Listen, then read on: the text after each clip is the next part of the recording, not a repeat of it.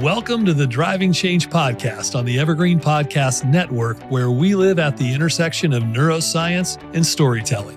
If you love great stories and you love understanding the mindset it takes to be a world class change agent, then join us as our fascinating guests from all walks of life unpack their unique journeys of perseverance and passion, of expertise and experience, and be inspired to use your own story to drive change.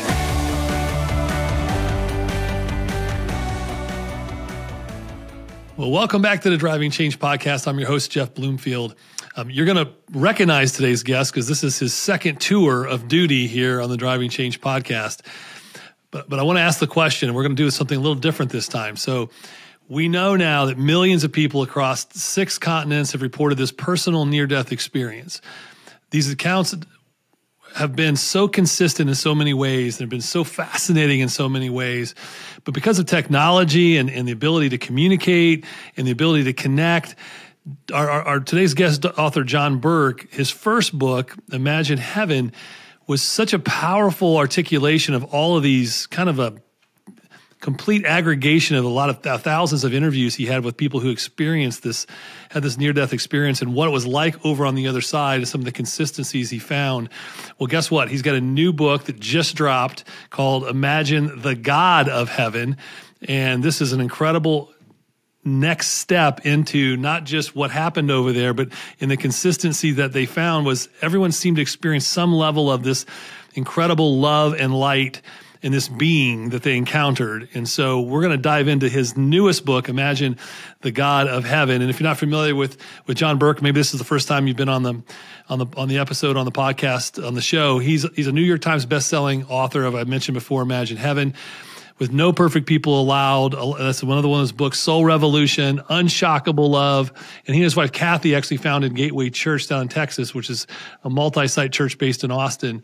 He's an international speaker. He's addressed hundreds of thousands of people in over 30 countries on topics of leadership, spiritual growth, the exhilarating life to come.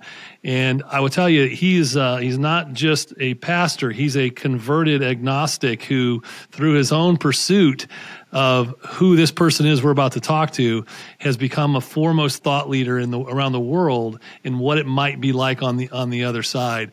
And not just from opinion but from a scientific rationale through research. And so I can't wait to dive into this a little bit with you on this episode.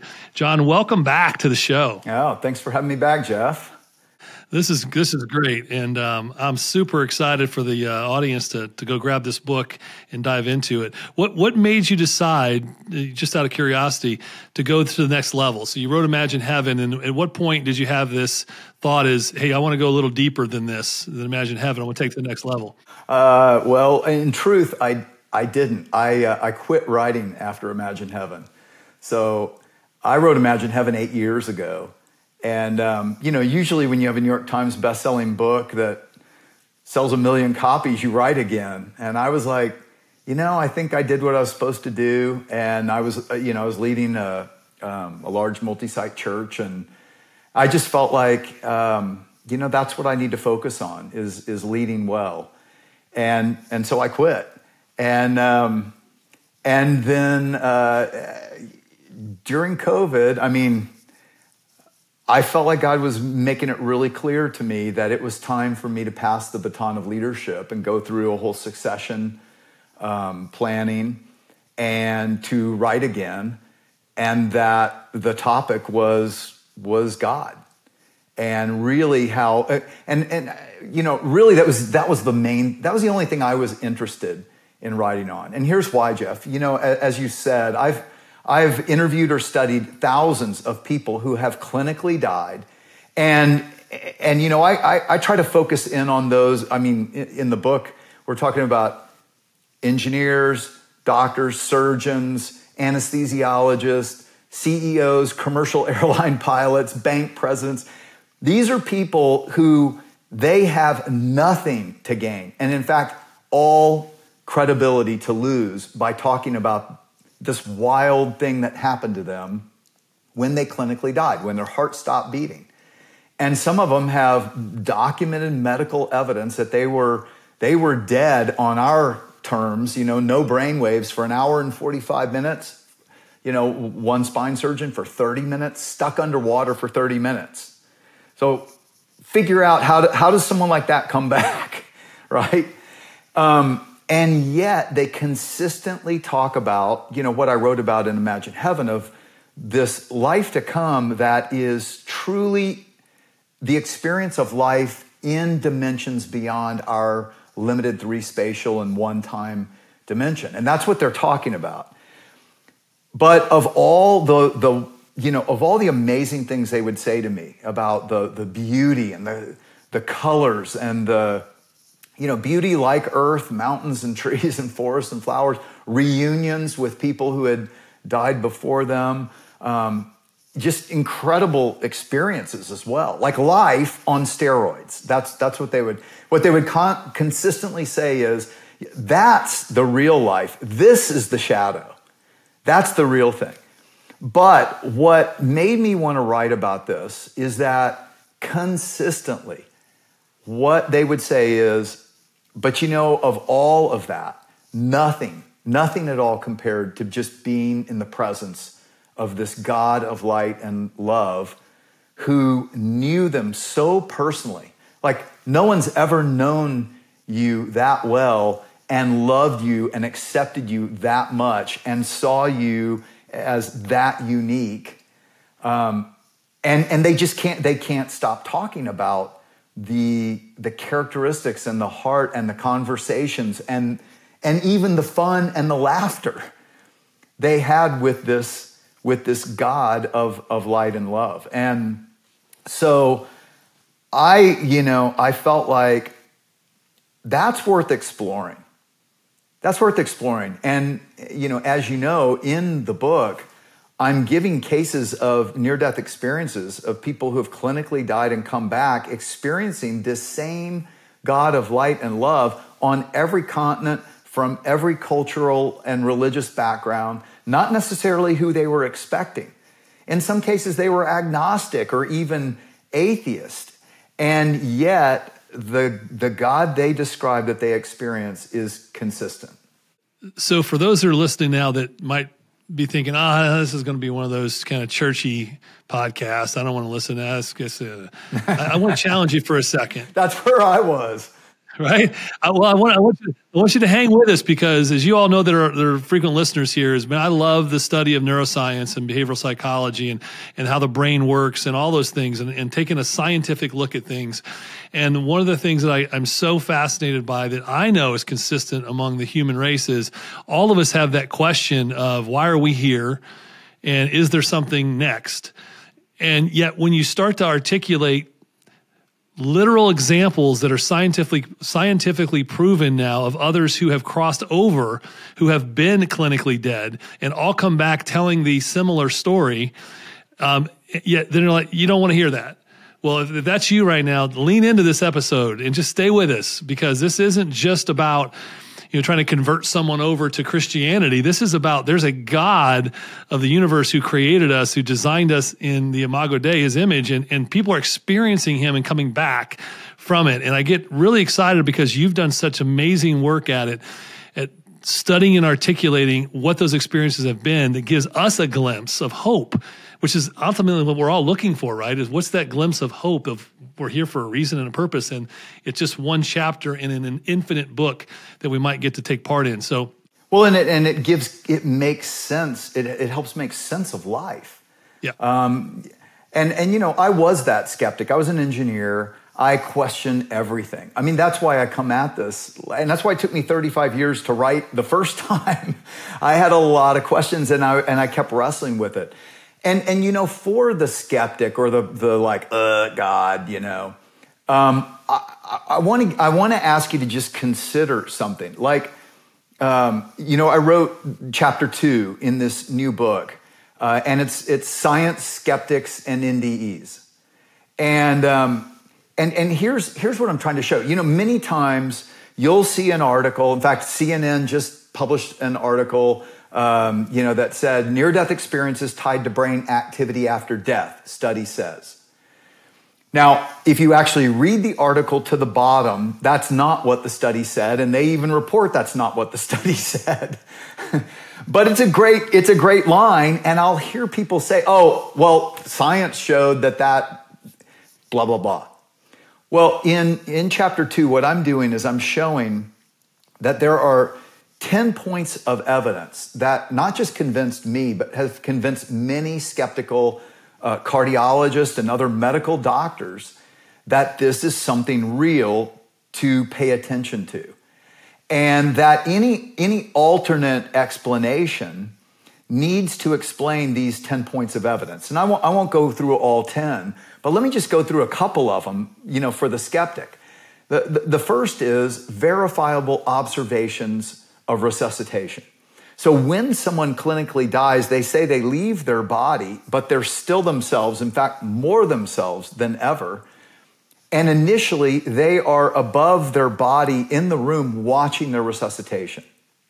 Now, this is what got my attention when I was still a, a skeptical agnostic, is that they could report seeing things that they should not have been able to see because they had no heartbeat and no brain waves and yet they come back and they can report what the doctor said, what happened, what they did, uh, you know, and and things like you know one person reported being up on the ceiling and seeing a red sticker on the ceiling side of a fan, and they went and the nurses and orderlies checked it out and found the sticker.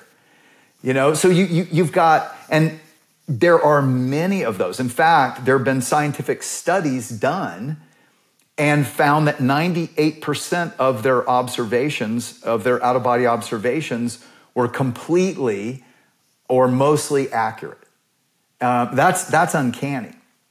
That's one, verifiable observations. But that grounds it in reality. See, that's the thing. You have to explain, well, then what is happening? Because just a, a brain blip can't observe things from outside the body. Common elements. Um, so, you know, people have all over the globe have a high percent of overlap of these consistent common elements. And I give the percentage in Imagine the God of Heaven of the different overlapping elements. Like 33% have a life review, um, they re experience their whole lives. Uh, 50% or so uh, experience that time works a different way. It's like two dimensional or more time, or there is no time. They say things like that. 48% experiences God of light and love. And, and so here's the thing is like there are about 40 uh, uh, common overlapping elements with different percentages. If it's just all in the brain, it's just a human brain thing, why wouldn't they all see the same God? Why wouldn't they all have a life review? You know, why, why wouldn't they all travel through a tunnel or but they don't. But then you have to ask, well, if they're unique, then why are they consistent? And if you think about it, you know, in a, in a court of law, if you had 10 eyewitnesses who all said exactly the same thing, that's collusion. You, you would say they, they talked. But if you had 10 eyewitnesses who said overlapping things about what happened, but from unique perspectives, that's the, that's the greatest testimony you can get. And that's what we have with near death experiences. So that's that example, right, where someone sees a car wreck, but you see it from one street corner and I see it from another, and someone else sees it by a car driving by. They all describe it, and and topically they all get it in the same zip code, but their their point of view is slightly different, but they're talking about the same thing. That's that's kind of what that is, right? Exactly, and that's what we're getting in these near death experienced testimonies. Um, another one that you have to explain is how come people who are born blind, when they have a near death experience, they see and they see and report all the same things that sighted people having near death experiences see? Like, I'll give you an example. In the book, I talk about Debbie, um, who, who was blind, has a near death experience, leaves her body, and sees her mother come into the room, you know, and, and bending over her, and is able, when she comes back, to describe her mother for the first time and to describe what her mother was wearing. And she said she was wearing a robe, and and and they asked, you know, what color was it? And she said, well, I, it looked like a dark color. I don't know. And her mom said, yeah, I was wearing a robe, and it was black.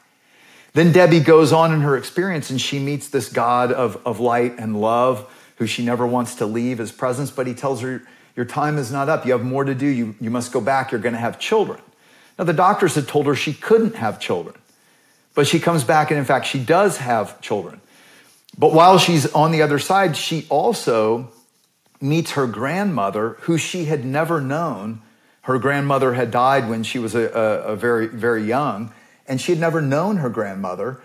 She meets her grandmother on the other side and describes her as in her 30s, which she said all the people seemed like they were about in their 30s, which is another commonality, um, which is really exciting for me now that I'm almost 60 because it's getting bad. right. you know, and then, but she comes back and describes to her mom uh, what her grandmother looked like, the color of her hair, those kinds of things gets it all right. So then, how do blind people see all the same overlapping things, even though when they come back, they're still blind? And then, secondly, like Debbie, uh, or, or the fourth point is meeting unknown people who were previously deceased. So, just like Debbie met her grandmother she had never met before, um, kids who have near death experiences many times will meet a sibling on the other side that they didn't know they had because that sibling maybe died in childbirth or it was a miscarriage. And they'll come back and tell their mom or dad, I, I met my brother or sister, and they're like, What are you talking about? And then they say, Well, we did have a miscarriage. We just, we'd never told you that because they were so young. And then, and then, you know, a fifth one, and this is five out of 10, 48% of people having near death experiences experience God. And that's what I'm really blowing out in here is that this is not necessarily the God they would anticipate in their culture, but this is a consistent, identifiable being who is personal and has all these characteristics and attributes and you know love and kindness and mercy and compassion and justice and you know all these things that they they describe and why in the world would some people, you know, if it's just, if near death experience is just in the brain, why wouldn't all people see God? Or no people see God? And if it's just in the brain, why wouldn't those that had learned that God is like this see their cultural God? Why would they all see the same God? And so, I, you know, I just would love to have someone explain those 10 points of evidence, explaining away the very simple principle, you know, Occam's razor is a scientific principle. Well, two, two scientific principles I point out. One is that what is consistently observed is real. That's, that's the most basic scientific principle. So when you have millions of people being studied, you know, and I, I report studies across 35 countries, you know, with, with, with um, 20% or one out of 20 of all people in 35 countries saying they had one of these near death experiences. Well, that's consistent observation of millions of people reporting the same things. That's great science. And then Occam's razor says, you know, in, in, in a diversity of explanations, the simplest one is probably the correct one. Well, the simplest one that NDErs consistently say is the consciousness survives death. You go on. There is a life beyond this, and there is a God of light and love overseeing it all. Uh, that's uh, that's it's incredible. And so the, the big question I think is here for this book, and why you went into this to this angle is well, why does the way that we imagine God actually matter in the end? Because as humans on this side of the of the of the golden arches and not McDonald's. Yeah. We're living this life. Why does the way we imagine God on that side? Why does it Why does it matter? You know, I, I think there's nothing that shapes us more than how we imagine God and shapes how we live our lives. And um, and that's true whether you think there is no God or you're God or you know uh, you know gods are found in you know everything or or that there is there is one God, um, and what that God is like too. And the reason I wrote the book is because I find that all of us, and I, mean, I include myself in this category, um, we put God in a box. And, I, and, and you put God in a box even if you don't think he's real. because you have a conception of what that God is that you then throw away. But I find most people have not really opened their minds to explore and, and really let their box be blown open. And what I mean by that is, you know, what these people are consistently saying, I'm showing aligns with what God has historically revealed. And, and, I've, and I've found historical evidence that that's true separate from these NDEs, but they, they perfectly correlate. And I'm, I'm showing how they correlate. But what they say is that this, this God in his presence, um, you never want to leave. Like this is, this is the relationship that trumps all other relationships on earth. You know, which, which you might go, what? You know, because because you conceive of, you know, like when like uh, as I was growing up, I when I thought of God, I thought totally unrelatable. You know, he's in this stained glass room somewhere. It's kind of dark and glowy and mystical and, you know, sacred and holy, whatever that means. All I knew is it doesn't relate to my real life. And it's hard for us to break out of those boxes, honestly. Nothing could be farther from the truth. God, God has always been with you. And if you don't understand that, you know, he's the, he, God is the force that keeps you alive. And, you know, a, a, what a lot of these people say in his presence is he shows them that he was there with them through it all and cares about them and cares about everything they're going through, but he was waiting for them to turn to him. And, you know, what I'm trying to show in Imagine the God of, of, of heaven as well is that God has been revealing himself in knowable ways throughout history also. So it's fascinating because, you know, I, I, I talk about um, Santosh, who was a manufacturing engineer, grew up in India. Um, Hinduism was all he knew. Yet when he has this near death experience, he has he hears them say code blue, code blue. He leaves his body, he sees his body there. Then this brilliant light that is, and this is what they consistently say, brighter than the sun or a thousand suns, but not hard to look at. And he, he said, in his presence, I instantly fell in love with this light because I knew he was for me and, and, and protecting me and cared about me. So Santosh, instantly he experiences this. And then, you know, he takes him to this place where he is looking out over what, what he describes as this giant compound with high walls and another commonality on the other side is that your, your, your eyesight becomes like telescopic. Like you can see for thousands of miles perfectly clear. And that's a commonality I, I reported in imagine heaven. But santosh said the same thing. And he said so i could see and I, I, saw these beautiful high walls and inside just gorgeous gorgeous and otherworldly building materials, these, these homes and mansions and buildings, just immaculate. And he said, and then I counted, and there were 12 gates. He said, I counted all of them. And, and outside the gate nearest to me, I saw angels. And that's when I realized I'm looking at the kingdom of heaven. Now, think about this, because this is crazy he is describing what John described in Revelation 20. Exactly.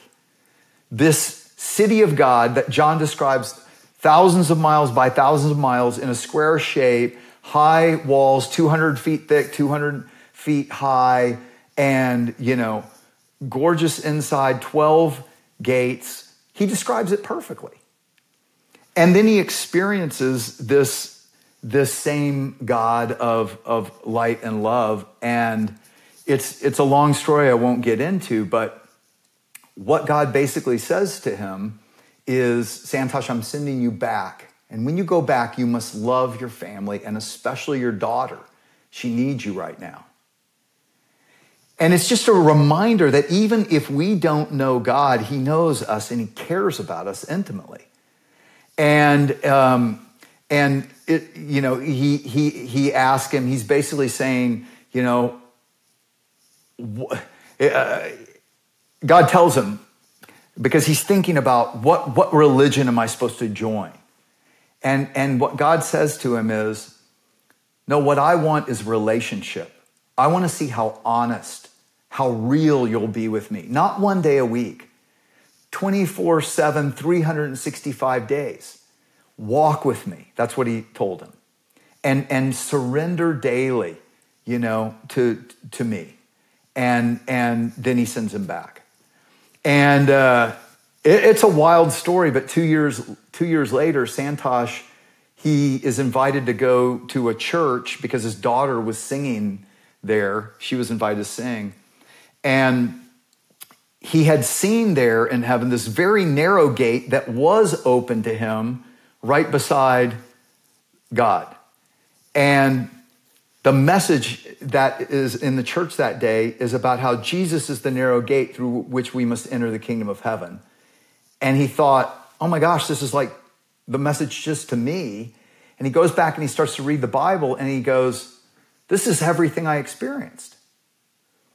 Now, and, and he, came, he became a follower of Jesus. Now, you, you could say, oh, well, you know, one story. But I'm telling, I'm, I'm showing, I'm, I'm uh, reporting stories by uh, a woman in Tehran who told me her story in Farsi, translated into English, of seeing the same God that Santosh describes, who says to her, I am he who is. Now, that just so happens to be exactly what Yahweh said to Moses 3,500 years ago when Moses sees this brilliant light up on a mountain in a bush that's not burning the bush. Again, the same God of light, right? And says the same thing. I am, I am he who is. I'm the self-existent one. In uh, I report on a, a, a Rwandan guy who was a Muslim imam who has a near-death experience, and Jesus rescues him, and he comes back proclaiming Jesus and then has seven attempts on his life because he's, he's now an Anglican priest. Commercial airline. I mean, on and on. People.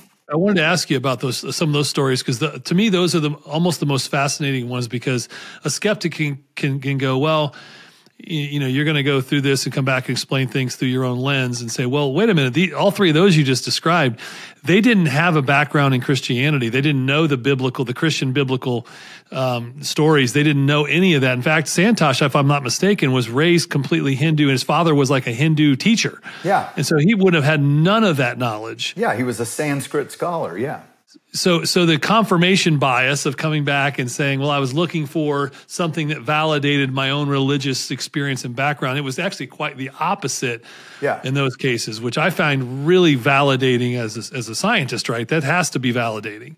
Well and and i think you know I, I, I think the thing to realize too is that a lot of what these people say also blows the boxes on christians who had god in a very small box Say some more about that. It was one of my questions. So tell me, tell me more about that.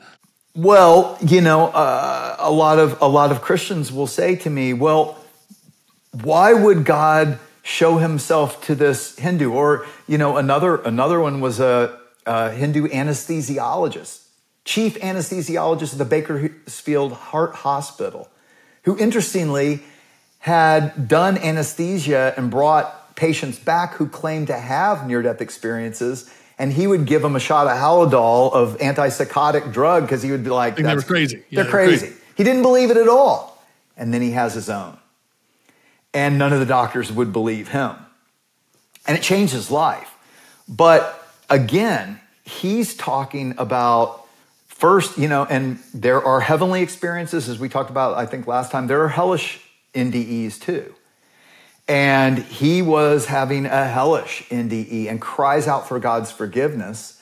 And then he talks about two Christian angels taking him to this immaculate place, describing, you know, paradise like others do, and the presence of this God like a thousand suns, but full of love and, and, and care. And he gives him a life review. And long story short, when he asked him He, he has another vision of the same God. And he says, Lord, who are you? Because when he came back, he was like, that was not like any of the Hindu gods. Why?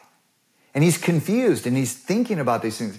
Anyway, when he asks, out of the brilliant light steps a man in a robe with a beard and says to him, I'm Jesus, your Savior.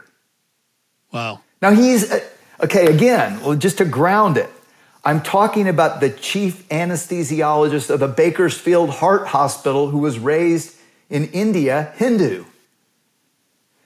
Okay, and so Christians will be like, well, that's not right because he didn't know Jesus.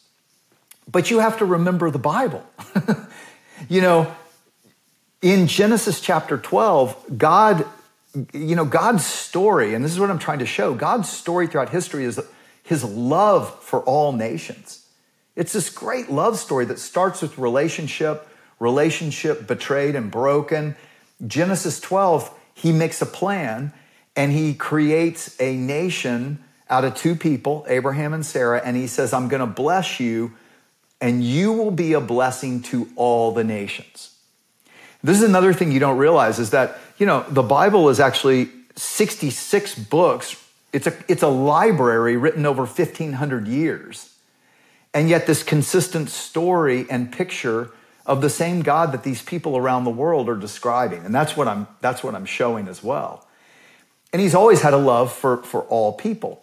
And, you know, Peter realized that. Paul realized that. Paul was persecuting Christians. In Acts chapter 10, he's on the Damascus Road going to arrest Christians and the same brilliant God of light that NDErs see appears to him. And he says, Who are you, Lord? Just like Dr. Parti did, right? And he says, I'm Jesus who you're persecuting. Now, important thing I think that, that Christians get confused on is notice Jesus didn't tell him what to do. He didn't explain the gospel, he didn't explain anything. He later sent Ananias to explain. And he didn't take away Paul's free will. Paul still had a choice. Will he seek God and will he choose to explore who God is and follow Jesus or not? And that's, that's true of NDEs too. You know, just because they see God doesn't mean they know him or they're right with him. What this does mean is that God is giving testimony to himself all over the globe, I believe, for our globally connected generation to, to know that he he cares about us all. He's the God of all nations. You know, and I and I love your idea around because I think all of us are challenged, especially if you're a, a Christian. You, well, anybody really, you know, you, you get in that box you're talking about, and you start to just look for that confirmation bias I mentioned earlier, things that support it, and then you want to be in the in the in crowd and not in the out crowd. And and what I'm hearing you say is, and a lot of the NDErs experience this, and by the way, this is how it should be, is God wants everyone in the in crowd. Yeah. And though you may not know him, he knows you. And he wants you to experience him in his true authentic form of creator of light and love and all that stuff. And, and so it's it's easy for some of us to get in our high holy huddles and start to say, well, that's not that that that that can't be right. And then we cherry pick verses out of the Bible to support that.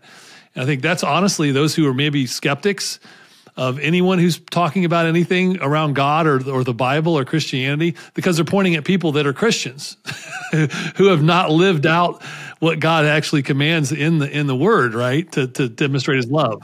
So many, you know, and and I've had 25 years of, you know, trying to help people like I was who are skeptical engineer types, you know, that you know have all these arguments.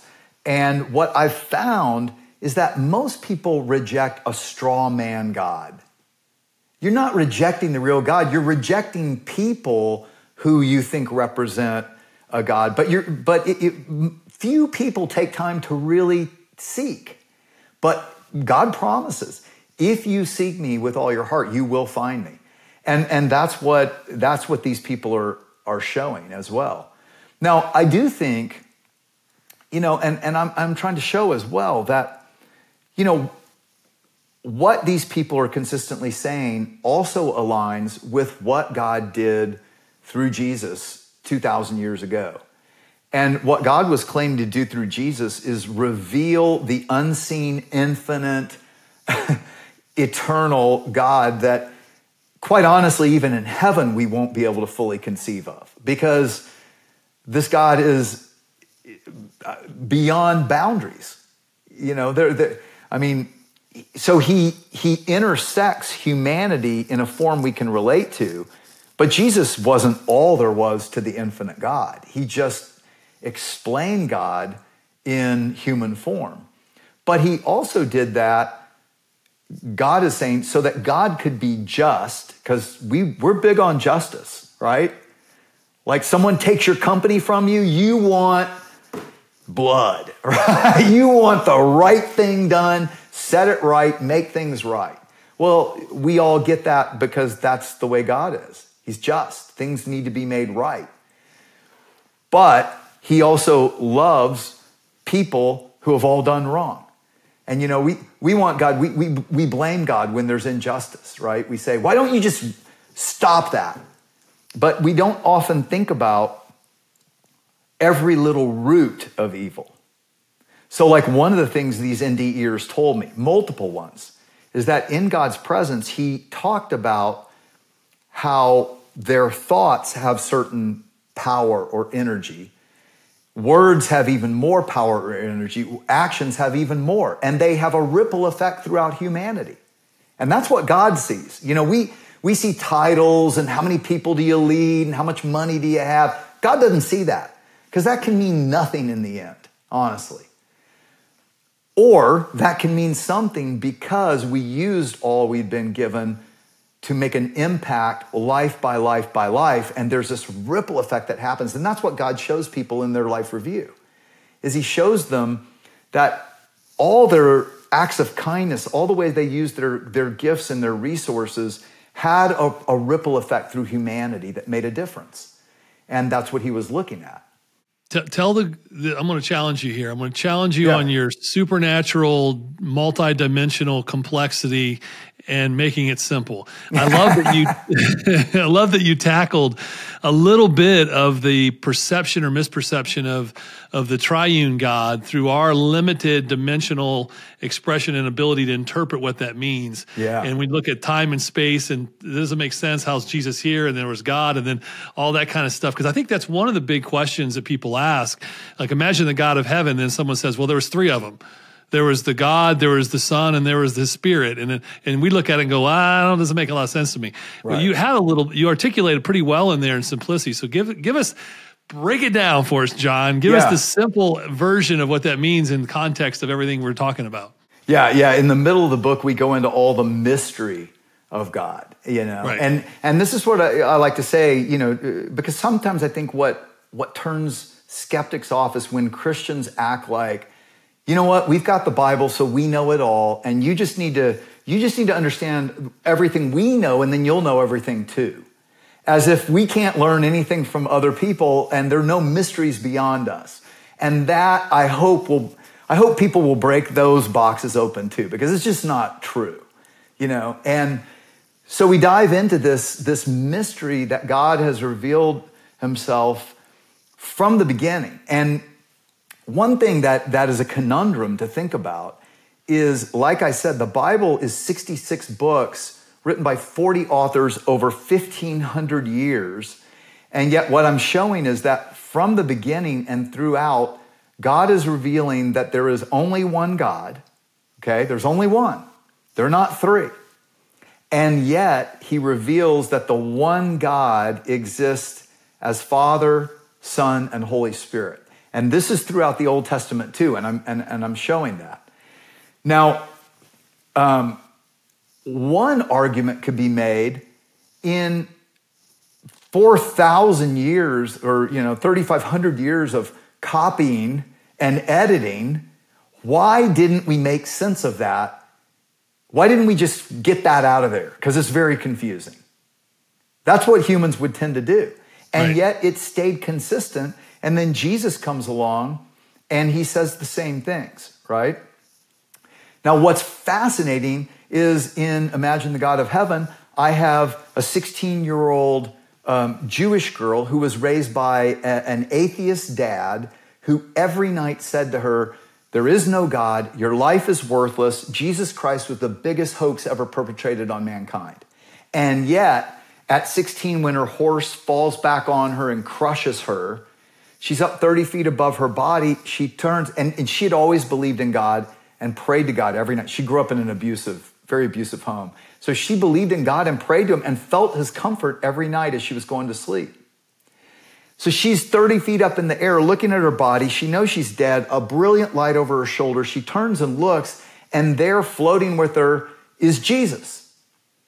And she recognized he's Jesus. And she said, I didn't, I didn't wonder what's a good Jewish girl like me doing with Jesus. She said, No, I knew him. I knew him. It was like, oh, hey, I know you. And she realized that this is the God that she'd been praying to her whole life. And then he shows her in her life review herself as a child praying each night, and he is by her bed. She sees it in her life review. Wow. So then he takes her to God the Father.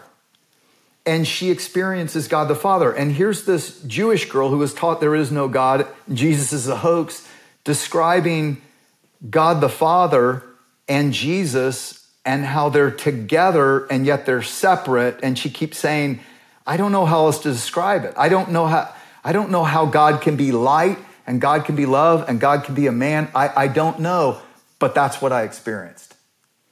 Then you have another 12 uh, year old girl, same thing. And I won't go into her whole story, it's in, it's in the book.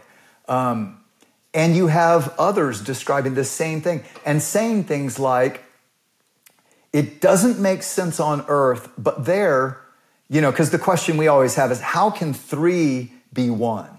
That doesn't make any sense. That sounds like a contradiction. But what they say is, there, there's the question doesn't even exist. It's it's completely understandable. Now, in the book, what I try to explain is by analogy. So we live in three dimensions of space, one dimension of time, right? And so if, let's say I, as a creator, create this flat table like land, right, of two dimensions, and people can only move forward and back and side to side. There is no up or down. And as a creator, if I stuck my three fingers into that flat plane of existence, they would see me as three, three circles right? Three round circles. Now, if I said to them, I'm not actually three round circles, I'm one being. Well, in, in flatland, three circles can never be one. Why? Well, because it can never stack up in another dimension into one me, one being. And so other dimensions allow for things that in our dimensionality may feel like a contradiction. Actually, it's a paradox. It's not a, a contradiction. Right. I mean, and if you if you've learned anything about quantum mechanics, there's a there are a lot of contra, you know things that are paradoxes about science that we're discovering. Which should blow your mind even more about there has to be something else than someone else, right? The more paradoxes you discover as a scientist, the more it should make you go, wait a minute, this isn't this isn't well, fit in my dimensional reality, so it has to be something else. And and and you know, science the the the, the big challenge of science back in the early 1900s. You know, Einstein was trying to find the unified field theory because you know they found that quantum mechanics perfectly works for you know all that we've developed in technology, right on the microscopic level. And general relativity works to describe massive bodies like planets and stars and supernovas and all that, but they don't work together. Kaluza Klein, these two uh, scientists, uh, mathematicians, came up with a mathematical theory that showed that they do work together if you add a fifth dimension, a dimensionality beyond ours.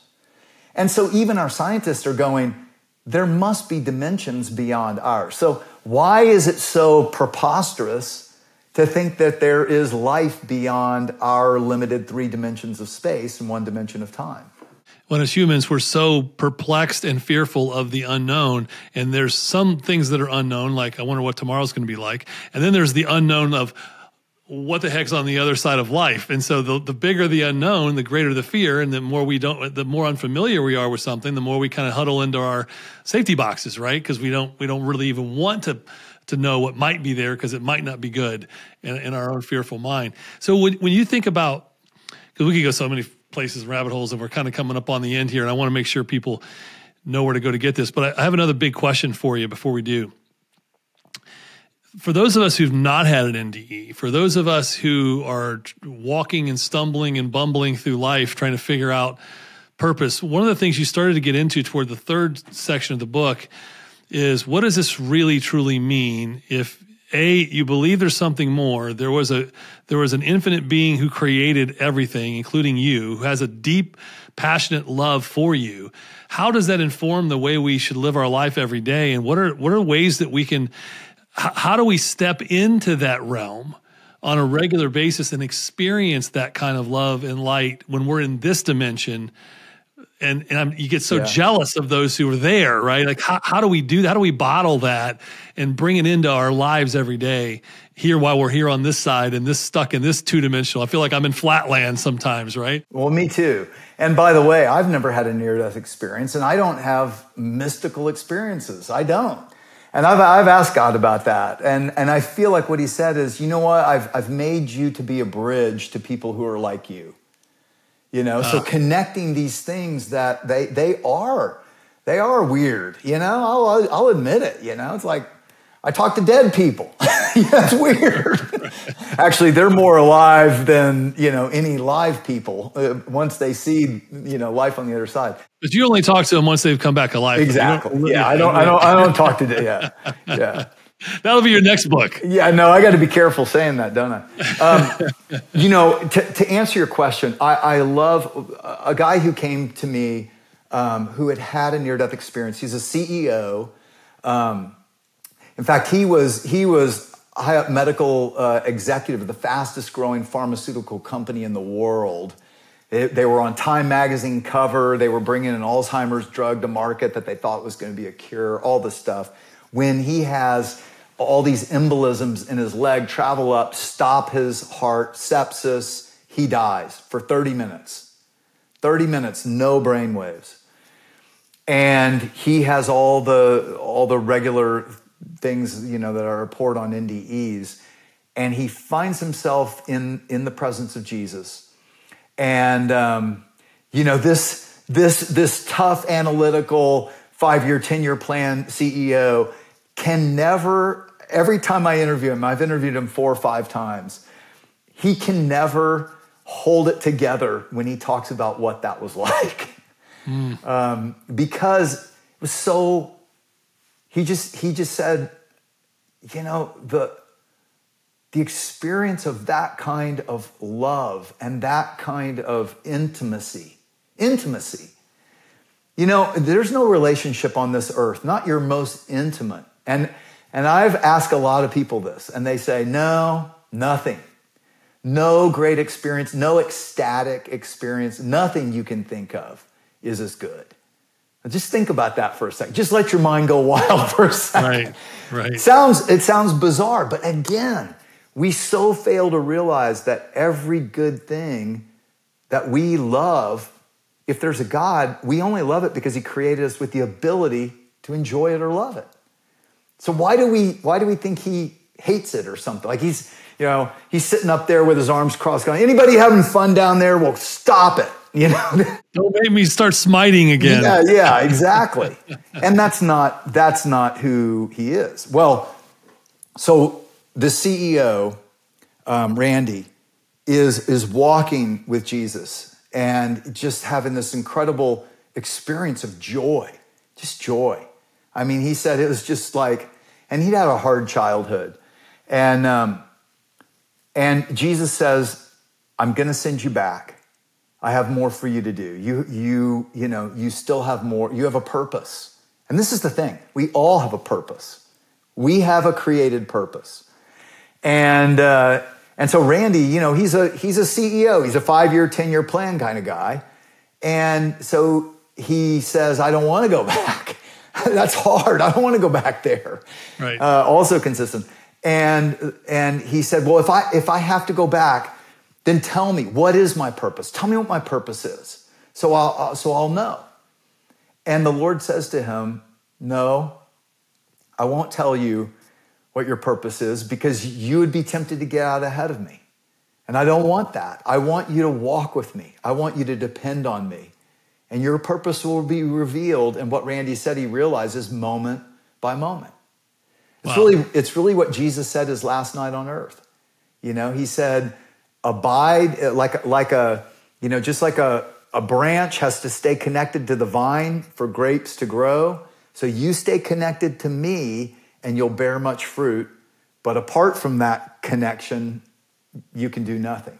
And so is the way it's the way to do that, and we'll close the close with this then, because you got you get into toward the end there that the, the conversational language of God is through generally we know is through prayer. Um, and, that kind of idea, some people talk of it as meditation, prayer, the conversation. Like, how do you activate that every day? Well, and that's it. You you start to learn, and I and I go into that of learning how to walk throughout your life with God, moment by moment. And, and, and so prayer becomes a, a conversation you're having in your, in your spirit, in your mind with God, but you're also learning how to hear those prompting thoughts of God. And this is what NDErs talk about. The, the conversation on the other side is thought to thought. It's, it's more of this full impression. On the other side, it's real clear. Here, it's not it's something we have to learn how to do, how to discern. But what I've found is the more you practice, you do start to see. It does become easier to see. Um, but it's not, you know, it's, it's, it's the only thing I think we have to do. It's, all, it's the only thing God wants. I don't think God has this long list of make sure you're, you know, not doing this and doing that, and not doing this and not doing that. In fact, the Bible says this. It says simply, walk with God's Spirit, and you won't. All those old habits and addictions and things that hurt yourself and other people, they'll start to fade away. And these other things, the fruit of God's Spirit, love and joy and peace and patience and self control, kindness, these, like fruit, naturally grow, you know, on branches that are connected to a tree. That will start to naturally grow in your life. Wow, sounds simple. It is. Well, it's simple. It's simple. It's Just not, not easy. easy. right. Those are those sometimes get con- uh, conflated, right? So this is the book, everybody. Um, Imagine the God of Heaven. And I know we can get it everywhere books are sold, but do you have a website for this one as well, or should we go back to imagineheaven.net? I know we went there before. Where should we go to get learn more about you, uh, your authorship, your speakership, any anything we can consume about you that kind of gives us more education and teaching on the stuff that you've been passionately writing about for a while now. Where can we go? Yeah, um, imagine the God of heaven.net, uh, dot, dot com, sorry. So it's just the book title, imagine the God of heaven.com. Um, we'll, we'll take you to some of that. And yeah, the book, the book's available um, all over, wherever books are sold. And I would tell the audience one last time, I mean, reading through this, it's, it's not, this is an amazingly well done, story based, with scientific rationale book that really goes into this in much more depth. And by the time you're done with it, it's hard because you read a couple pages and you have to stop and pause for a second and process. What is that, man? What what is what does that mean? So that's what's that, it's that kind of book. So this isn't a sit down and read it in a night kind of thing. I'll tell you, it's one that you're going to want to you're to want to spend some time unpacking over time because there's so much greatness in here uh, for all of us to think about. So thank you for the work you're doing, John. Thank you for being a friend of the program, and honestly, thank you just for listening uh, to your call and teaching people these things because I think it's pointing everyone in the right direction to that that God of light and love that that's been revealed to so many people through NDEs and for many people who haven't had NDEs who just happen to know how to tap into that. So thank you. Well, you're welcome. Thanks for having me on again.